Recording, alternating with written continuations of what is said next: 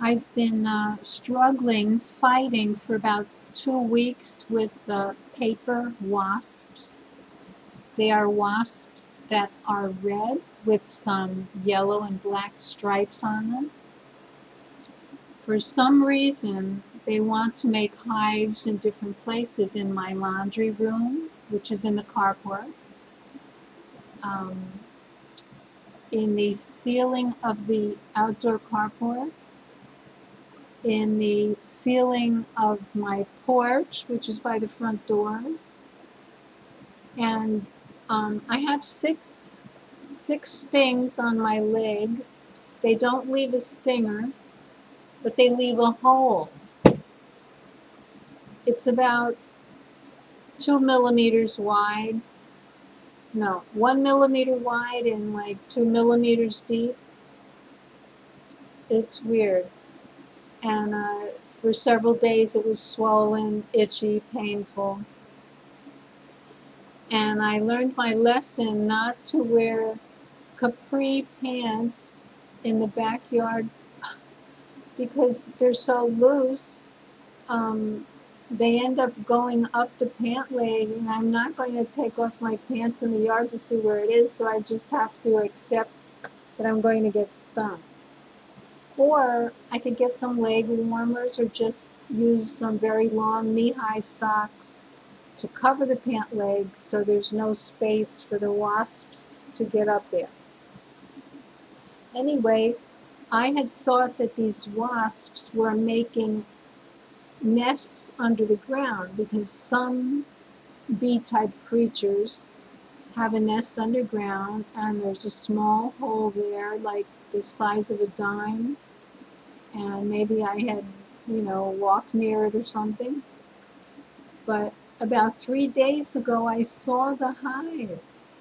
Uh, it's on the bottom of a of a palm plant, and it's about the size of an apple.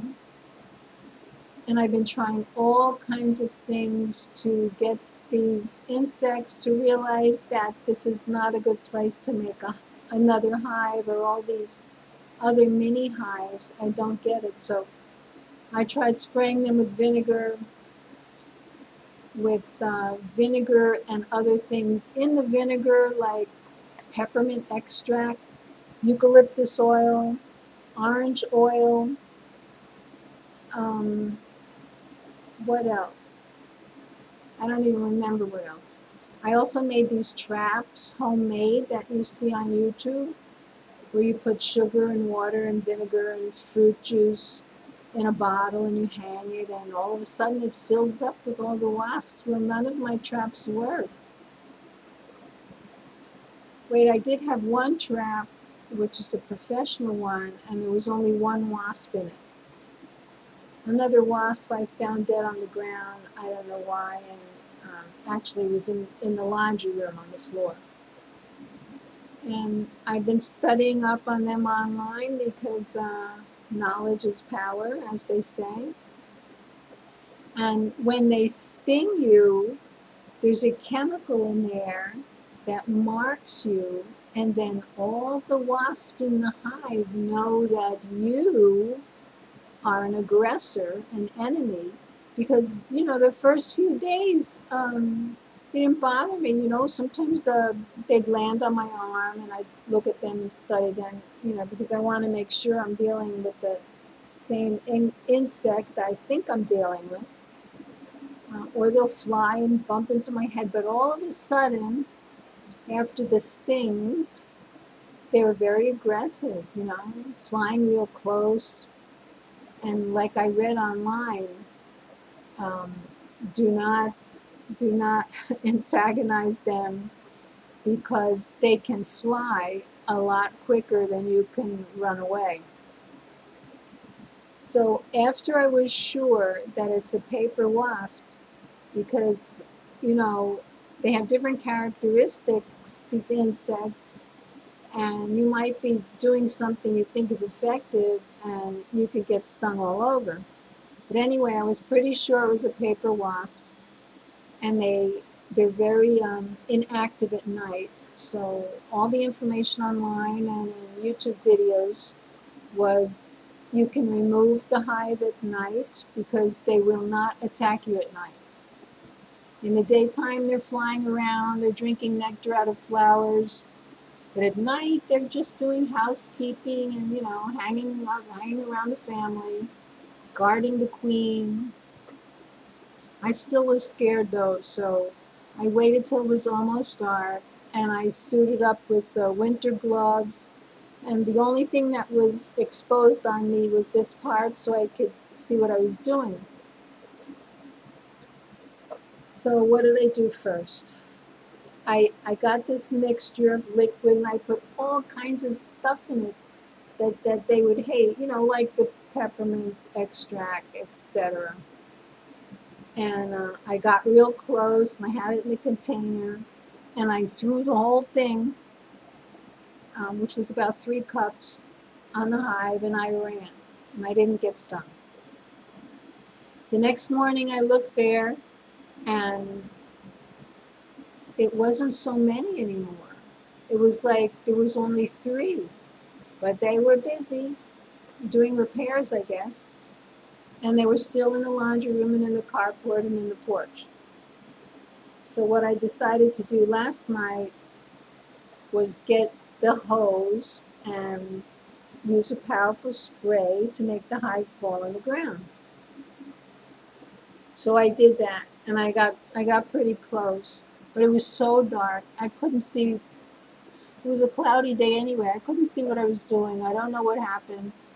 And so then I went and got this extension pole I have, which a neighbor gave me, and it goes up to uh, 16 feet.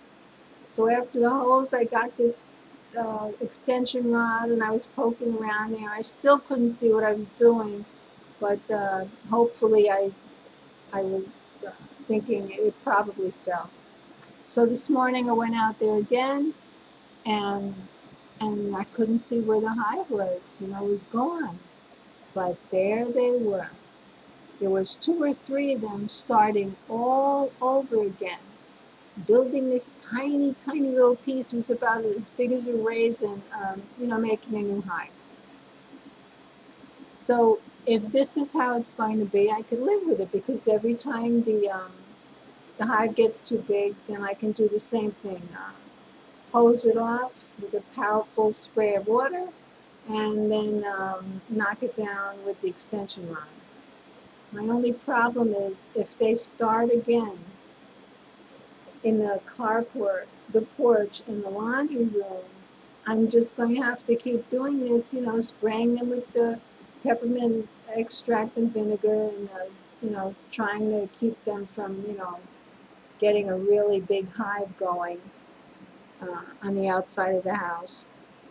So what I want to remind you of, please study before you engage in something like this because if you got the wrong kind of insect, for instance, a hornet, they will attack you at night. So you got to know your enemy. Um, and um, I, I think that anything we do and go through, any phase of life, any experience that's not very happy, is always good for something. It's some kind of benefit, if only to make us stronger and, and help us to uh, share with other people so we could help them.